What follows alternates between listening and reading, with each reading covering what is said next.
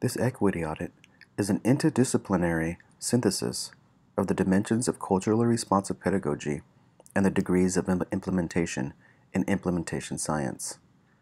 Let's begin with culturally responsive pedagogy. The dimensions consist of the institutional, the instructional, and the personal. However, I've created the individual for alliteration's sake. The institutional is place-based and community-aware. It considers the physical and political structures of the history of your school and school district. The responsibilities here include the allocation of resources and implementing policy. We think systemically. The instructional consists of a humanizing pedagogy, whereby we focus on developing critical thinking skills. The tools of instruction will match the student's lived experience. Here we think relationally and historically. And finally, the individual. This is critical reflexivity or self-location work that considers our own inherent bias, privilege, and positionality. This work is very difficult and slow. However, there is an urgency in the field. This work requires an abundant amount of grace and authentic caring. We think introspectively.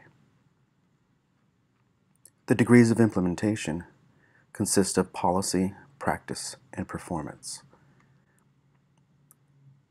The policy is a recorded theory of change, essentially what makes it to paper, what gets codified, what theoretical frameworks and research back up your policies.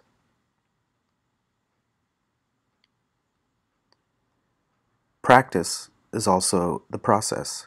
Personnel can be counted. This is the expressed or active theory of change.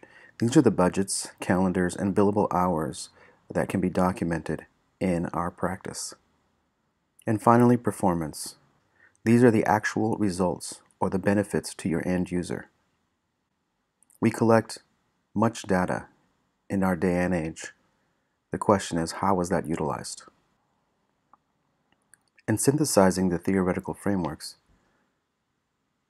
the equity audit was established with nine areas for consideration. Often, equity work consists of self-reflexivity, whereby a trainer may be brought in to consider this practice. However, have we thought about the readiness? Who's already doing the work? How was the trainer selected? Will there be ongoing coaching? And finally, is it budgeted and calendared for the future? Often walls go up, and potentially we do more harm than good. When we consider what policy supports this individual practice of critical self-reflexivity, we must base it in theoretical research. What research has your school or district done to support this very arduous and personal work? What common language and common expectations have been set for this work? And finally, what will be measured in the individual performance of critical self-reflexivity? How do we measure our social cultural consciousness? How do we measure the attitudes of our educators? The individual policy will inform the practice and ultimate performance of this column. Let's jump to another. Let us consider the institutional policy, whereby we set forth the framework for engaging our communities, allocating resources, and making decisions based on data. Is your school trauma informed or healing informed? Combing through policy, such as your equity, discipline, ELL, and special education, is also an important part of this area. Teacher quality, including the selection of your teacher base, are critical to examine.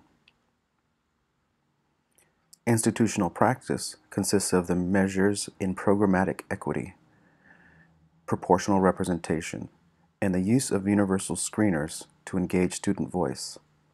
For instance, how are students selected for AP or IB programs at the secondary level?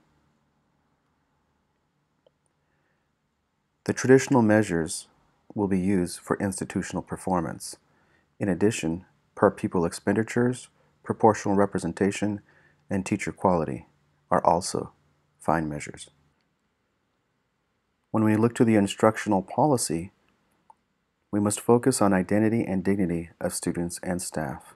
The practice of historicizing and humanizing will allow for critical thinking. Consideration of theoretical frameworks from critical race theory, ethnic studies, such as intersectionality, and funds of knowledge should inform your policy. Restorative practice and social emotional learning curriculum should also be included here.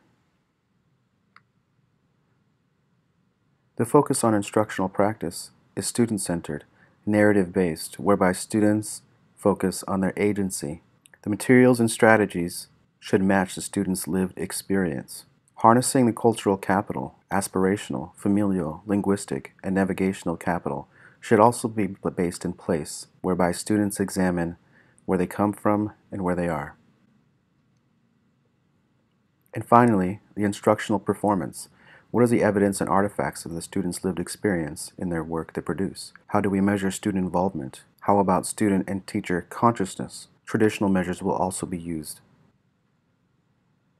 The goal of this equity audit is to be a usable tool for school leaders and practitioners to examine policies, practice, and performance in the institutional, instructional, and individual dimensions.